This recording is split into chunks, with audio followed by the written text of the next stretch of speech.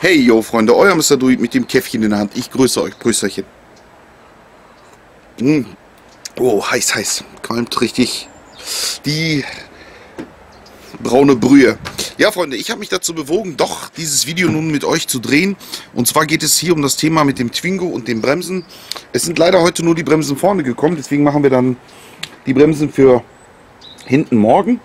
Äh, Scheibenbremse und die Belege. Ich weiß, ich hätte es vielleicht sofort machen sollen, vielleicht auch nicht. Aber ich habe ja gesagt, wir machen daraus eine gemeinsame Sache und gemeinsam heißt, wenn die Überzahl an äh, oder die Zahl an Befürwortern, dass wir eine Sache machen sollen, zunimmt, dann agiere ich und äh, werde es natürlich tun. Wir müssen äh, schauen, dass das Ganze natürlich im Waage bleibt, dass es mich nicht überanstrengt, aber das sind so Themen hier, die können wir natürlich machen. Ich will mit euch im Einklang sein und das heißt, dass ich auch dann sowas wie die Bremsen mache. Ich bin mir für nichts zu schade, das heißt wirklich nicht, dass ich jetzt hier ähm, äh, euch, weiß ich nicht, irgendwie was Böses will oder so, sondern dass wir zusammen die ganze Sache rocken und so ist es jetzt auch mit den Bremsen. Deswegen machen wir die neu und ich würde sagen, wir legen auch direkt los, damit das Video nicht so lang wird. Wir montieren den Reifen ab und sag mal bis gleich.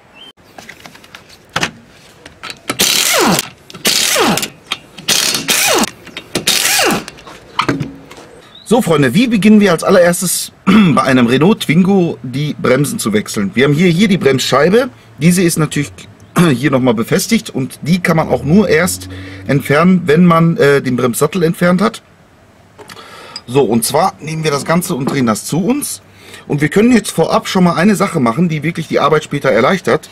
Und zwar können wir, also man kann den Sattel zweigetrennt lösen. Man kann hier sind zwei äh, Imbusschrauben, die man lösen kann, um diesen Kopf hier zu trennen, also abzunehmen. Oder wir machen das anders.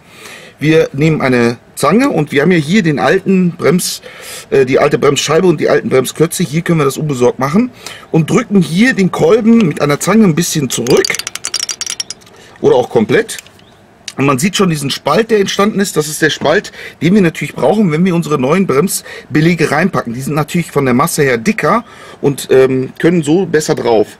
So, was man jetzt hier noch machen könnte, ihr könnt natürlich auch an dieser Stelle einen ähm, einen äh, Zurückdreher benutzen. Das kann man auch machen, aber da wir hier die alten Belege haben, die wir sowieso wechseln, mache ich das hiermit. Sonst könnte man hier noch wahlweise, wenn man so einen kleinen Schlitz geschaffen hat, mit einem Schraubendreher den Kolben so weit zurückdrücken. Das mache ich hier gerade und er ist schon am Anschlag. Damit ist die Arbeit hier erledigt. Wir können unsere nach einer Reinigung unsere Belege sofort einbauen und befestigen. So, was werden wir jetzt als erstes tun? Wir haben hier die Befestigungen für unseren Bremssattel. Diese werden wir als erstes lösen, hier oben. Ich stelle euch mal um. Allererstes den Bremssattel von dem Träger entfernen und wie so üblich oder wie auch oftmals bekannt, nehmen wir hier natürlich hier eine Schraube zum Kontern, die wir halten, hier an dieser Stelle mit einem 17er und achtet bei dem Maulschlüssel darauf, dass der relativ schmal ist, ja, sonst kommt der da ganz, ganz schlecht zwischen und hier oben dann mit einem 13er die ganze Geschichte lösen Boah, der Rostlöser wirkt schon. Ich kann diesen dann hier unten hinpacken und in Ruhe rausdrehen. So, nachdem wir diese Schraube entfernt haben, diese ist auch neu im Set mit dabei, können wir an die untere, hier unten befindet sich das gleiche, mit dem 17er kontern und mit dem 13er lösen. Und wir sehen schon, der Sattel macht sich selbstständig.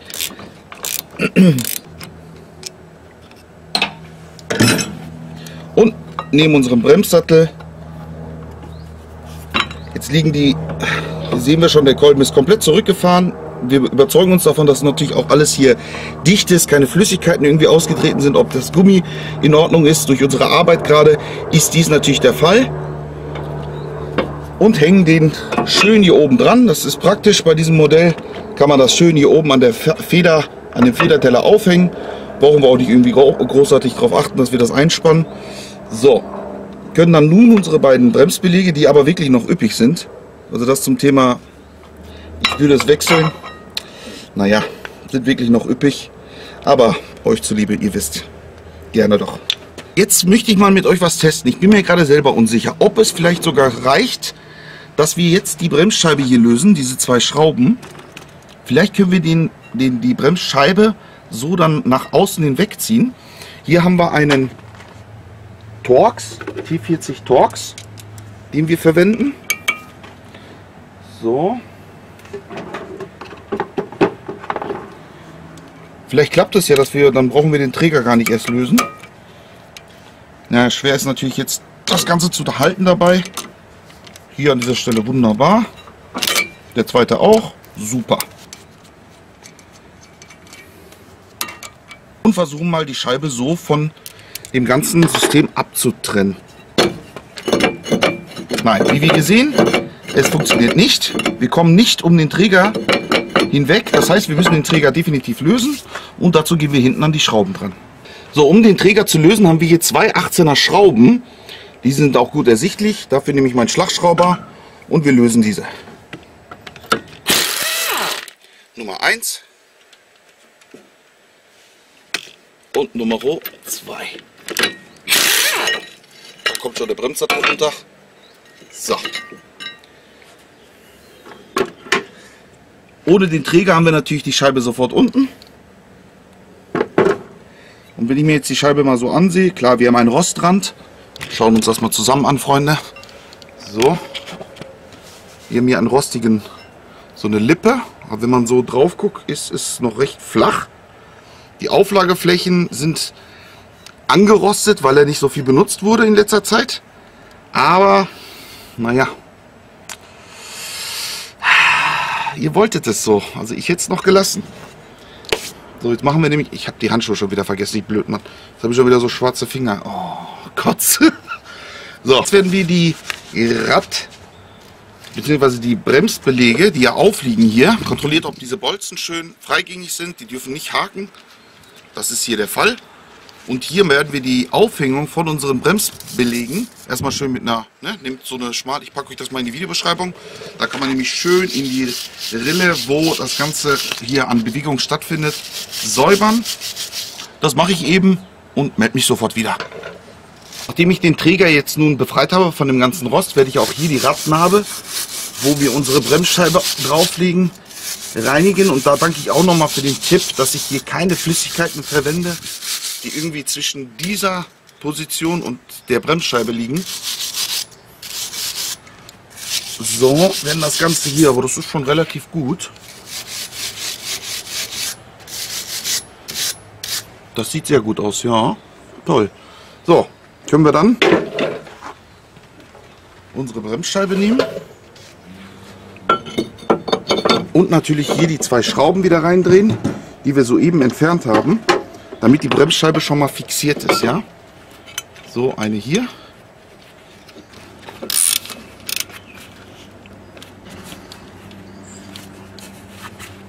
So, die ist auch schon super fest. Also vorsichtig sein, passt genau das Werkzeug nehmen, ja.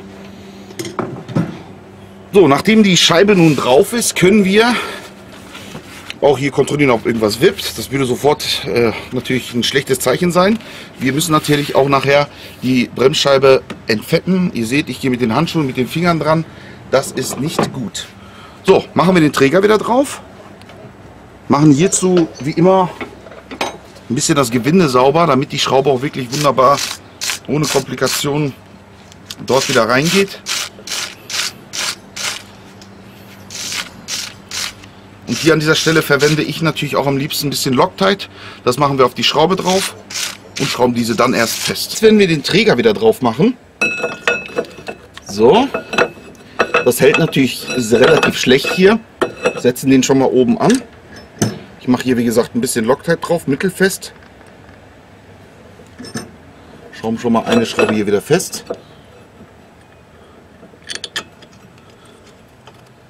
So. Das fühlt sich schon mal gut an. Zweite Schraube. So. Und ich werde das Ganze hier mit na, 100 Newton anziehen, die beiden Schrauben. Und äh, ja, wie gesagt, 18er Nussgröße, 100 Newton und ab geht's.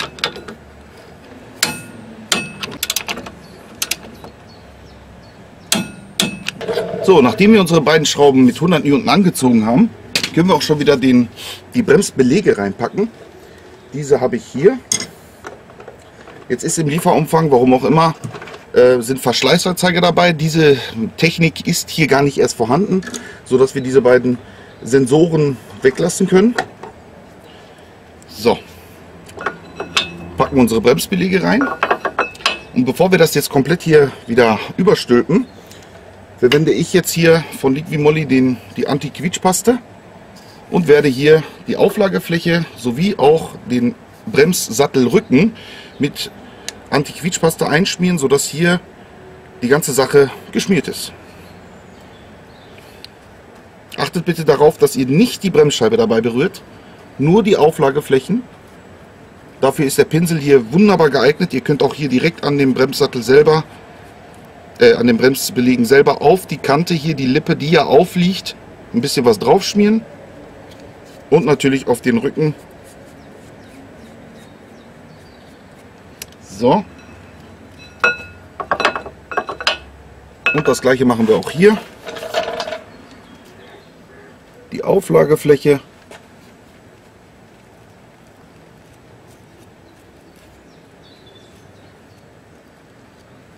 und natürlich die beiden Kontakte, Flächen und den Rücken.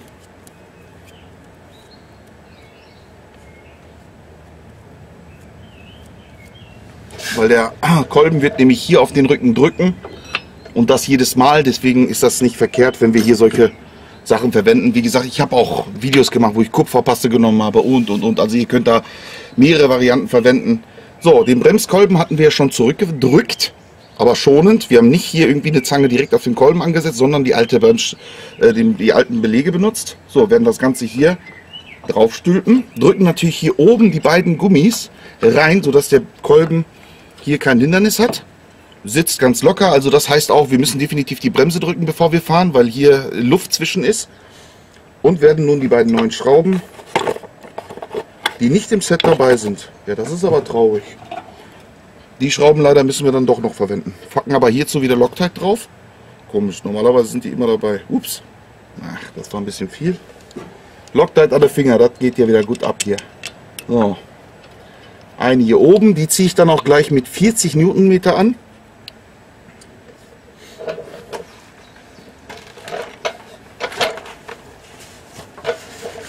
Einmal ein Läppchen. Mittendrin stand nur dabei, war Freunde? So, hier auch ein bisschen. Ups. Jetzt drückt natürlich die Feder von unserem Belegen. Da ist ja eine Feder drin, die immer drauf presst. Ja, nehmen wir unseren 17er Schlüssel, drehen das schon mal halbwegs fest und können dann zum Schluss mit unserem Drehmomentschlüssel die ganze Sache dann ordnungsgemäß anziehen.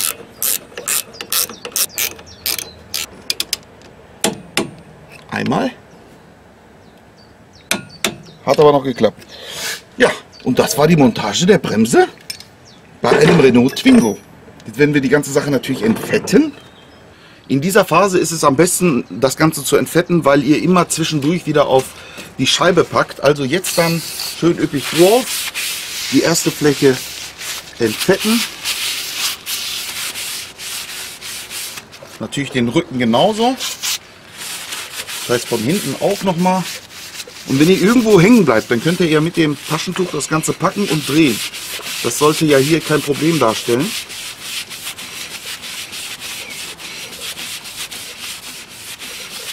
Jo. So sieht das Resultat aus. Ziemlich viel Dreck. Und unsere Scheibe ist entfettet. Jetzt nehmen wir noch als i-Tüpfelchen unsere Radnabren Paste von Liquimolli. Packe ich euch auch gerne mal in den Videobeschreibung. Einfach hier ein bisschen drücken. Oh, das war viel.